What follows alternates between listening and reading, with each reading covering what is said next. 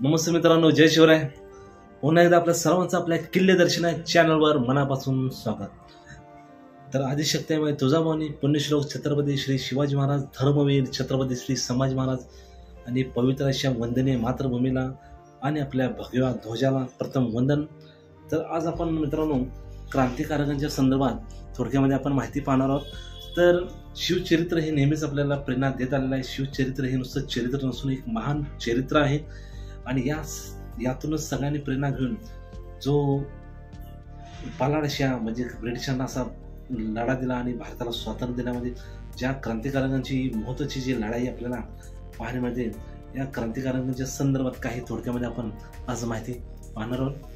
तर उमाजी नाईक उमाजी नाईक ज्यावेळी तुरुंगात होते उमाजी नाईकांना ज्यांनी पकडलं त्यांचं नाव होतं कर्नल मॅकिंग टॉस्ट. उमाजी नाईकांना ज्यांनी पकडलं त्यांचं नाव. तर उमाजी नाईक हे स्वतःला छत्रपती शिवाजी महाराज समजतात त्यांच्यासारखे ते बोलतात त्यांच्यासारखे ते वागतात. तर उमाजी नाईक हे तुरुंगात असताना त्यांच्यावर आत्मचरित्र लिहिण्यात आलं आणि हे चुकीच्या वेळी जन्माला आले नाहीतर यांनी खूप त्रास दिला असता असं आपल्याला या म्हणजे ब्रिटिश अधिकाऱ्यांच्याकडून आपल्याला पाहायला मिळतं. तर यांच्या बलिदानातून जे उभारले ते आद्य वा आद्य क्रांतिकारक वासुदेव बळवंत फडके. हे छत्रपती शिवाजी महाराजांच्या प्रतिमेचं पूजन केल्याशिवाय पाणीसुद्धा पित नव्हते मित्रांनो. आणि यांच्या बलिदानातून जे उभारले ते चापेकर बंधू चापेकर बंधूंचा तर छत्रपती माफ करा मित्रांनो शिवाजी नावाचा क्लबच होता.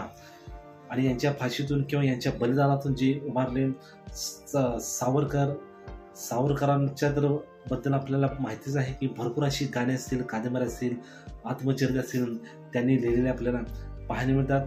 आणि यात सगळ्यात महत्त्वाचं जे नाव येतं ते सरदार भगतसिंग तर एकोणीसशे अठ्ठावीसला जी बेंगलोरला पत्रकार परिषद झाली होती. आणि त्या पत्रकार परिषदेमधून ज्यावेळी ते लाहोरला जात होते लाहोरला जात असताना आपल्या स्वराज्याची जी राजधानी होती रा राजगड माफ करा मित्रांनो रायगड रायगडला दुसरी राजधानी रायगड. नंतर रा राय रायगडला भेट दिल्याची नोंद आपल्याला पाहायला मिळते. तर आणि ते नेहमी आपल्या राजगुरूला म्हणत असत की सरदार भगतसिंग आपल्या आपले नेहमी आपल्या राजगुरूला नेहमी म्हणत असत हे मेरे असले शिवाजी का मराठा आहे? हे मेरे असले शिवाजी का मराठा आहे? आणि त्यावेळी आणि सरदार भगतसिंगांचं एक सुप्रसिद्ध गाणं त्यावेळी गाजलं होतं. आणि त्या गाण्यानं खूप अशी क्रांती त्यावेळी घडवून आणली होती.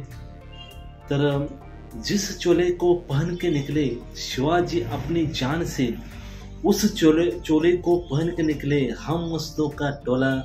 मेरा रंग दे बसंती चोला मेरा रंग दे बसंती चोला। आणि यानंतर एक महत्वाचं नाव होतं ते नेताजी सुभाषचंद्र बोस। ते नेताजी सुभाषचंद्र बोस हे नेहमी म्हणत की या देशाला जर स्वातंत्र्य जर मिळवायचं असेल तर आपल्याला छत्रपती शिवाजी महाराजांच्याच मार्गाने गेलं पाहिजे. छत्रपती शिवाजी महाराज हेच आपले आदर्श असले पाहिजे. छत्रपती शिवाजी महाराज हेच आपले पायलट असले पाहिजे. आणि छत्रपती शिवाजी महाराज हेच आपले वैभवाकडे नेणारे आदर्श असले पाहिजे. या देशाला स्वातंत्र्य मिळवायचं असेल तर आपले आपल्याला महाराजांच्याच मार्गाने गेलं पाहिजे.